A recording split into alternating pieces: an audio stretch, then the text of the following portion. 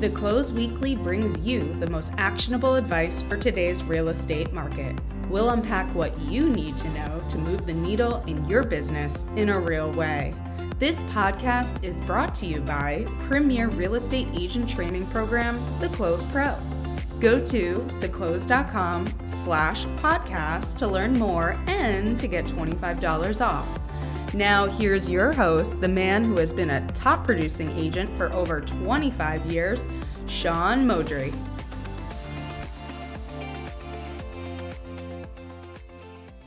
Hello, Close Weekly. It's Sean Moudry, and we're back for another episode. And today we have one of our contributors from the Close himself, Chris Linsell. Good morning, Chris. Good morning, Sean. Glad to be here with you guys. Thanks for having me.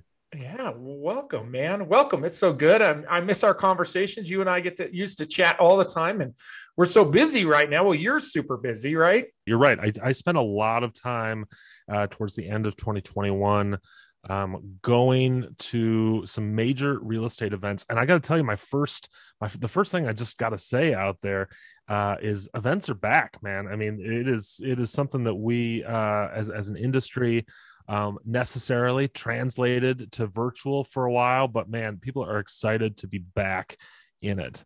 Um, and I've got kind of a unique perspective here because I both attended events as an attendee and as somebody who's there to cover the event and write some content and make some videos for the close. I also attended uh, events as uh, as a featured speaker, so I've got kind of both uh, both sides of the coin there. Um, so w- where do you want to start? Where where should we dig in on this? Well, let's let's start with the the first event um, that you went to. Um, I can't remember which one that was. What was your first event? So that would have been the Inman Connect conference. Uh, it was in Las Vegas. It was towards the end of October 2021. And uh, I was there as an attendee as well as someone who is covering the event, uh, writing some articles, um, creating some video content about it. And a couple of things that I took away from this event that I think we're going to see rolling forward into 2021, or excuse me, 2022 as well. Uh, first, people are obviously they're excited to get back into in-person events but they're also bringing that excitement to decision making in their business there's definitely um, a reemergence a new kind of um, committed uh, committed motivation on the part of a lot of real estate agents to improve and better their business and the reason i think that it's this is a little different than it was before is when I was walking the expo floor of an event like the Inman Connect conference, I'd hear a lot of top level, you know, kind of like introductory conversations going on around me. I'm always listening to what people are talking about. This is historically what I hear at these events. At Inman Connect in October of 2021, I heard a lot of closer conversations. Hmm. People weren't just listening to the pitches and, and being thoughtful about their options people were putting their names on the dotted line. And this is a trend I'm seeing across the industry right now. We are, as an industry, making more decisions, and people are committing to some of these decisions right now um, as strategies they want to work you, through in 2022. You mean they're signing up for some of these products, some of the new technologies that are out there? Is that what you mean by committing? yeah signing up for products signing up for strategies committing to the committing to giving new new strategies a try and um, you know, I I, uh, I I say frequently to folks that you have a lot of business strategy operational options in the real estate industry mm-hmm. there's there's more technology products out there than you can shake a stick at there's more lead generation strategies than you'll ever have a chance to try completely so this means that you've got options for what the best way to run your business is. And there are people who are shopping right now. We've got high performers in our industry right now that are shopping these different options right now. People are not satisfied with the status quo. We're definitely seeing folks mixing it up right now.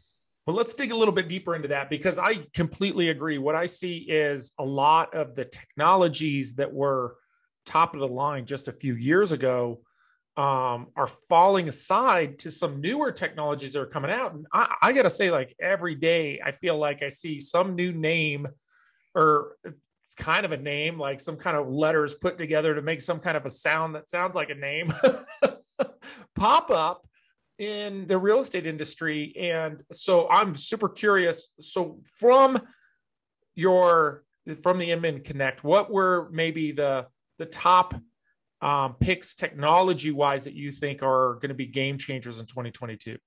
Mm, that's a great question. So, um, you know, Inman Connect from from a technology perspective was very interesting because this particular conference focused a lot on real estate agents and their place in the um, financial journey of their clients. And so, some big takeaways as far as those tools from this particular event were tool were companies like um, Homeward or Knock or any of these other companies that are blurring the lines between where the real estate services stop and the financial and mortgage services begin. Mm. This line, you know, the, my big takeaway from this particular event was that line isn't a line anymore. It is a blurry grayscale, and we are seeing a, a transition from the services that real estate agents are providing and the services that mortgage professionals or financial professionals are providing. And then we're seeing a lot of overlap here. And man, this was on display front and center at the Inman Connect conference in October in Las Vegas. And um, I'm expecting to see even more of it in 2022. 2022 is going to be the year, I believe, where we're going to see um, a real uh, the overlap. It, it's it's no longer going to be the edge of the Venn diagram. Mm-hmm. The financial services and the real estate services sectors are going to be sitting on top of each other pretty soon, and it'll be up to us to kind of sort through that intermingling and figure out how we can best serve our clients. Yeah, you know, I think the argument that you hear over and over about that is, you know, the uh, regulations that don't want to allow the blending of real estate with mortgage, with title, with hazard insurance, and those kind of things. But remember, there was a time where it was actually illegal. I, I don't know if you you're going to believe this. It was actually illegal, Chris, for you to pick up a stranger in your car and charge them money to drive them across town. And today, it's commonplace. we put our kids in the back of strangers' cars and drive them across town now right? Remember, there was a time where you didn't talk to strangers. Now you call them to have them give you a ride in the middle of Las Vegas. Incredible.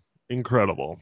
So, so I think about technologies like that because, you know, when though when when when um, those technologies came out, it was it was actually illegal to to provide rideshare services, or because the taxi industries had such a grasp on the legal um, aspects of things. And because customers demanded it, is what made the change, is what mm-hmm. made um, things like Uber and Lyft um, a reality. And so, consumer driving the demand for this might push it through. So, to yeah. be specific, like services like Homeward, which you know, Tim Heyl's company Homeward is interesting because it's doesn't seem like a mortgage company, but essentially it's a mortgage company.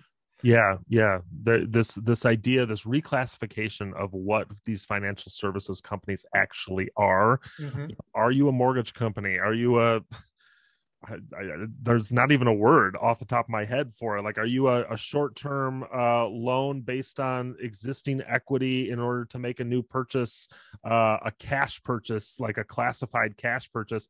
Like, we don't have the vernacular to even describe this just yet. Right. Um, which is making it a very interesting thing. But I, you know, Sean, you hit on something that I think is really interesting here in your Uber example is it being that the those changes in that ride, uh, like the ride hailing economy, were driven by consumer demand of a product they didn't even really know existed yet. They just mm-hmm. knew that the status quo didn't satisfy their needs.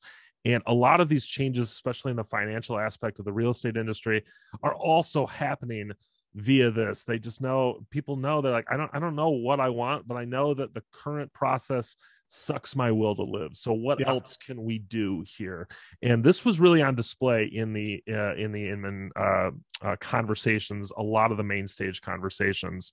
The one thing though that i will caution people about is you know one of the takeaways and you can actually find this i've got an article on the close.com uh, .com that's a wrap up of this inman uh, conference one of the things that i took away from a lot of these conversations was unfortunately a lot of the professional conversations we're having right now are talking about how this will benefit agents, how this will benefit Mm-hmm. our volume, how this will benefit our GCI and our bottom line.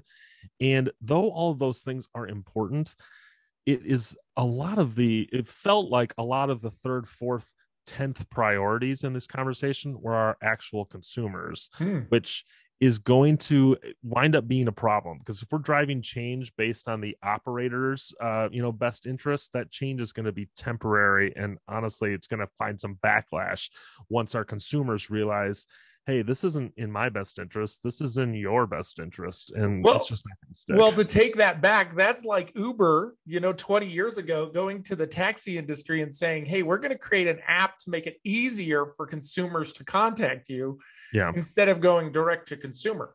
Now, Yeah. I read your article and I thought it was outstanding, by the way. Thanks. And the one thing that really stood out to me was the conversation about commission elimination due Yeah. to some of these services. yeah Do you want to explain that a little bit because that that's a threat to our industry to to I shouldn't say to our industry to some some agents businesses um, Yeah. that can be a, a a very vital threat. Yeah, so I, I I'm really glad you bring that up. Actually, I was just thinking about this. I'm just going to start off by calling out um, Clelia Warburg Peters, um, Miss Warburg Peters. If you're listening to this, I am your biggest fan, and I would like to buy you a cup of coffee and just tell you about it one day. Um, uh, Miss uh, Warburg Peters is uh, she's an Inman editor at large. Uh, she has um, she facilitated a conversation at uh, Inman Connect um, around the transaction of the future. And she's got a lot of street cred when it comes to this sort of thing because um, she's a founder of um, or or an operator of one of the most recognizable indie brokerages in the space. She's a founding member of venture of a venture uh, capital firm. She knows what she's talking about here. And one of the things she brought to uh, focus in this conversation was this idea that real estate commissions could eventually become loss leaders for other services. And if you're not familiar with this concept, think about Best Buy and their $2 DVDs at the front of the store. Best Buy's not making any money on these DVDs. In fact, they're probably losing money on these DVDs, but they're selling them two bucks at the front of the store. They're advertising them in all their newspapers and their website to get you to come in. So you will also look at refrigerators and washing machines and televisions and home stereos where they actually make their money. Mm. And this idea that a no commission model could be a component of moving towards hey come come do your real estate slash financial transaction with us. You'll get the commission for free but we're going to charge you on the on the other end of things. To think that that isn't uh, something that that big firms are bandying about their their boardroom tables that would be unrealistic. These conversations are happening right now. Personally i don't think we're going to see that in 2022 but you never know at this point. Firms are moving quickly Well, you know, honestly, Chris, it's been happening for years because anybody who's worked with home builders, where the home builder says, "Hey, if if you buy this house, we have an agent we'll refer you to that will list and sell your house at a discount." I mean, I I worked the builder business for many years. That was their loss leader, drew their customers in and made them a benefit for them buying their home over somebody else's house, and the builder would pay you know a, an, a, a fair commission to us to to support them and and doing those discounted commissions. So Yeah. I, I think it's a very similar business model. Yeah I, I agree. There's there's definitely a component to this conversation. Whenever we have a an ecosystem of uh, like an industry ecosystem where there are multiple um, kind of points of conversion you know whether it's a commission on a on a uh, for a real estate agent or a commission on an on um, uh, a mortgage or an appraisal or an inspection or a whatever like we have multiple conversion points along that pipeline here we're going to see some kind of bending and flexing and, and ebbing and flowing as far as who's charging what what's a loss leader what's a what's um the profit center.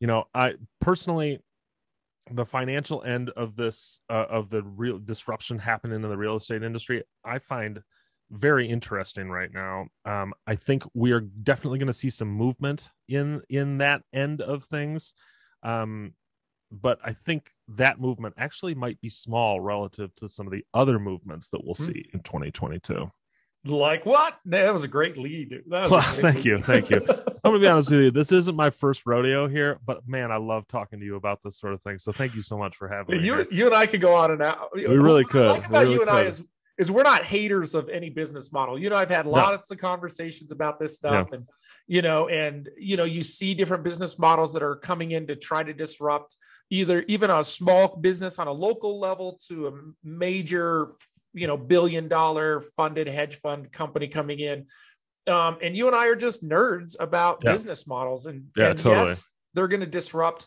but yeah. i don't think either one of i don't think you or i either way believe it's going to eliminate every real estate agent. Yeah I, th- I, think that that's that's crazy. Yeah we really could. The first 11 hour podcast in history that that would be us talking about this.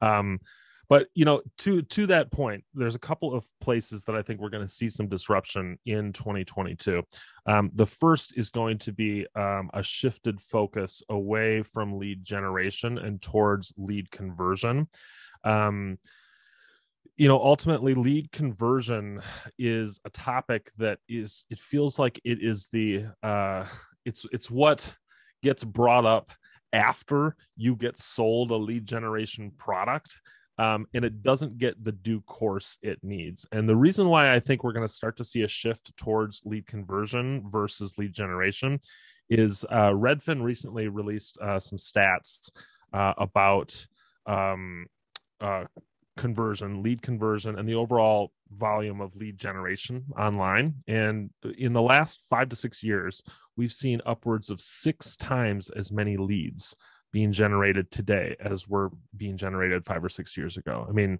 not a small increase, a 6x increase, but we're only seeing marginally a few more transactions converting every year. Like the number, the amount of turnover has not risen anywhere close to that 6x of generation, which shows us two things. One, it shows us we're not nurturing our leads properly, that we're grabbing these leads at the top of the funnel. They're not making it to the bottom of the funnel. Mm-hmm. We're also, this also indicates that we're grabbing these leads, maybe these leads that have a, a, a separation between intent and execution.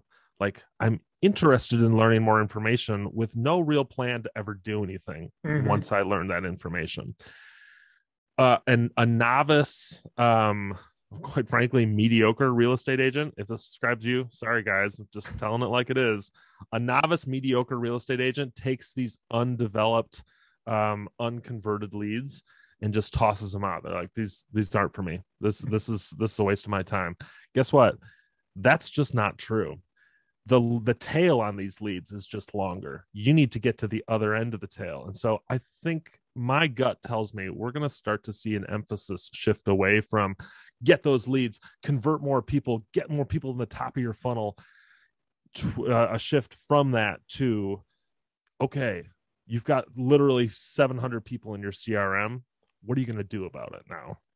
Yeah, and, that, and I'll add to that because um, so the long tail in advertising is what Chris is referring to here. If you guys aren't nerdy nerds like us, so so so the long tail in advertising means you know you put out your initial um, marketing pieces, it generates a certain number of leads. Yeah. But the long tail is those straggling leads that come in from that initial advertising and through follow up, you get those.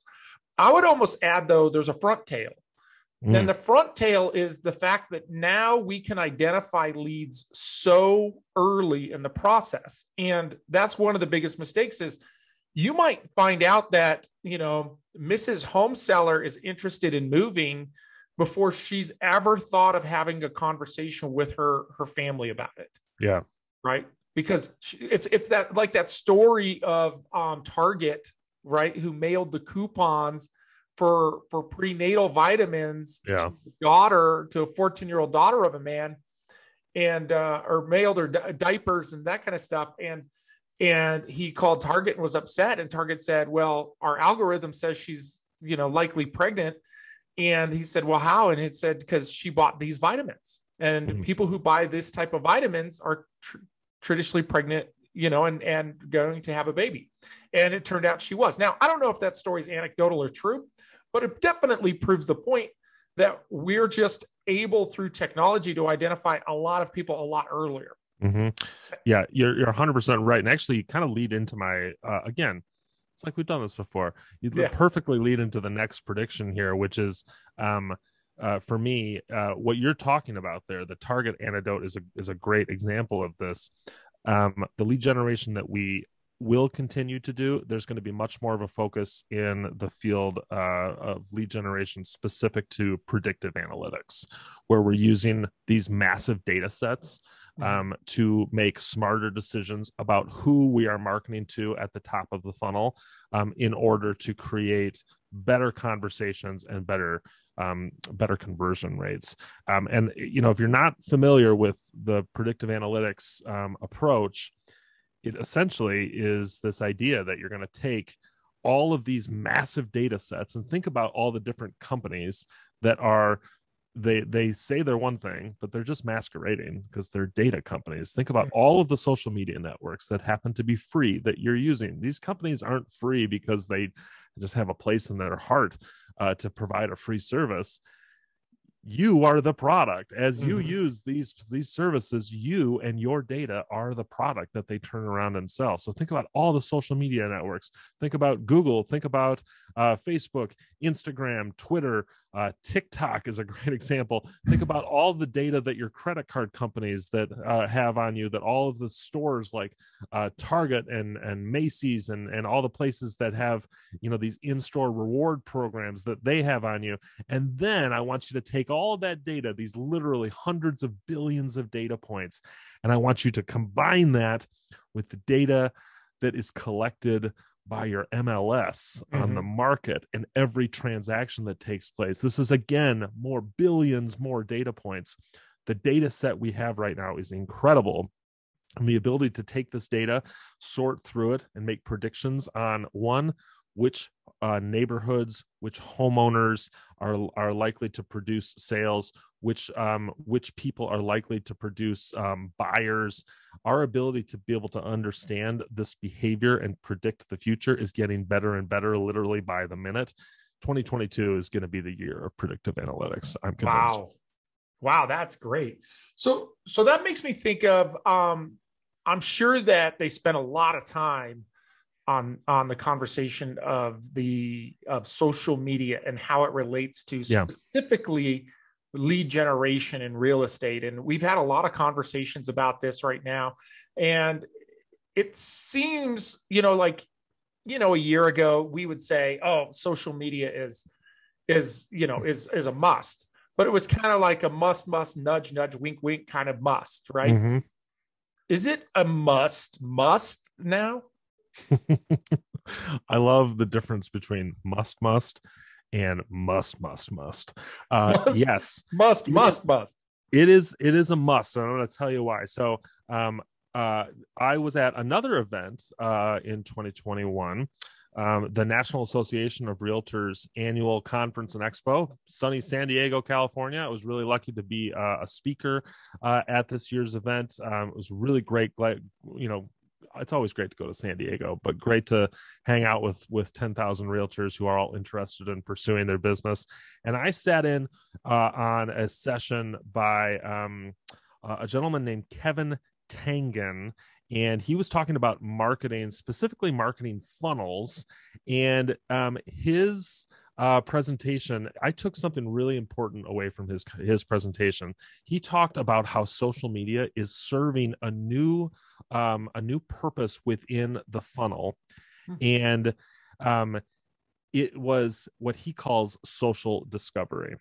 And um, it used to be that the marketing funnel started with an interruption. So somebody is just doing their thing, marketing comes across their their uh, radar. All of a sudden, they're interrupted from what they're doing, and they they discover who you are.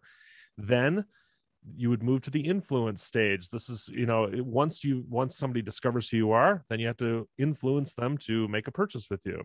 Then they'll have their experience, and then they'll share that experience. So you're going to interrupt, influence, buy or sell, and then share um, Kevin's suggestion, though, was that there is now another stage in here, which is between interrupt and influence, there is social discovery, where people are using social media to verify who you are that you are who you say you are, that you do what you say you do, and that you know what you say you know. And that without this social level of discovery, your conversion rates are going to go into the tank because we have at our disposal tools to be able to verify our credentials, our expertise, our activity. And if people go to these tools and see nothing, see crickets mm-hmm. from you, they're going to think that you're a fraud, frankly. I know that sounds like a harsh thing to say, but think about it like this if you have the chance to tell your story and you don't, then you are telling a story in your absence. And it's, I've got nothing to say. I've got nothing to back up my claims. I'm just a snake oil salesman mm-hmm. who is trying to get you to take a flyer on somebody with no relatable or verifiable proof. That's just not going to fly anymore. You Social know, media th- is a must. I think it's such a great example because you, you know, today everybody, all these products come out and they make these, you know, amazing claims, right? Call it, call it medication, you know, the latest, greatest medication. Call it um, the new car, you know, the new technology. Like I just bought an electric snowblower, right? Like, wow you know my second one i had a little one but it wasn't powerful enough so i bought literally the most expensive electric snowblower you can get on the market today but you know how much social research i did mm. before mm. i wrote that check mm. well i guess i didn't write a check but before i clicked paypal yeah i mean i probably had two three hours of watching YouTube videos, mm. critique, and then I'd critique the, the reviewer of the video to see if I trust that person. So imagine that's a that's a sixteen hundred dollar snowblower. Imagine when it's a six hundred thousand dollar house. That's right? the truth, hundred percent. Yeah, I mean, you're we're trusting people. Uh, people are trusting us with the biggest financial decisions of their entire life. Yep. The the least you could do is get a couple of reviews on Facebook and Zillow and, and have an active Instagram to make sure that people understand you're not just some fraud out there. And frankly, you know what? If you are a brand new agent, if you're listening to this and you're like, oh, shoot, I don't have any reviews, I don't have any, I don't have anything flashy I can post on Instagram. You're missing the point here, friend. And I, again, I don't mean this to sound harsh, but listen, if you're doing social media correctly, it is not about selling your services. It is about telling your story. Mm-hmm. It is about understanding um, who you are as a person and and connecting the things that you do for people in the boardroom with the person that you are in their living room if mm-hmm. that makes any sense. So um, don't feel like social media isn't for you if you don't have these multi-million dollar sales to brag about in fact, that's not what social media is all about. We want to use social media to verify who you are as a person, that you are who you say you are, that you do the things that you say that you do, um, and that you are are the sort of person that somebody else wants to wants to work with. It's not about bragging on your, you know, um, incredible accolades. It's about verifying you as a human being. Mm, yeah, I think that's I think that's very good and tangible advice, especially for those of us like for me, I don't want to be seen online as a funny influencer and you know doing doing things that you know just to gain eyeballs right just to get attention um, i would much prefer to tell a story about a client um, a way that we were able to solve the problem and overcome that um, and I do think that a good story replaces testimonials, right? It's it's totally. if you don't have testimonials, get a story, and if you don't have testimonials that are recent, um, get one from your previous previous job. Absolutely. You know, Google doesn't 100%. filter your reviews. By the way, Google doesn't care if they were your past client, recent client, your mom. You know, you can have your mom review you on Google, mm-hmm. and Google says, "Great, five More stars." data. that's that's exactly right. That's exactly right. So look for 2022 to be a year where we can not only are we going to focus on conversion of our leads? Um, you know what are we going to do to nurture these people down the funnel? Social media is a great way to do that by the way. Keep people engaged people keep people um, you know with with you at the top of mind by continuing to stay active in their social feeds it's going to be a year where we're using predictive analytics to make smarter lead generation decisions. We're only you we're using our data to only reach out to people who are the most likely buyers and sellers in your market. Um, it's it's the it's the moving away from the shotgun approach and moving towards the sniper rifle approach. And then last look at look at look at 2022 as the year of social discovery. If you're not using your social media platforms to serve that discovery and verification um, uh, uh, level within your funnel your conversion rates are just going to suffer you're you're going to be stuck in stuck in neutral most of the years my guess well, Chris, that was outstanding. And I really appreciate your expertise and your knowledge. And I can't wait to have you back because I have so many more questions that I know you and I can dig deep on. Yeah. And thank you, everybody, with the Close Pro Weekly. Be sure to subscribe so you get each of these podcasts. And once again, Chris, thank you so much. Sean, it was a pleasure. Thanks for having me on here. And uh, we're just getting started here. We're just getting just, started here. Just getting started. Okay. Right. Bye bye, folks.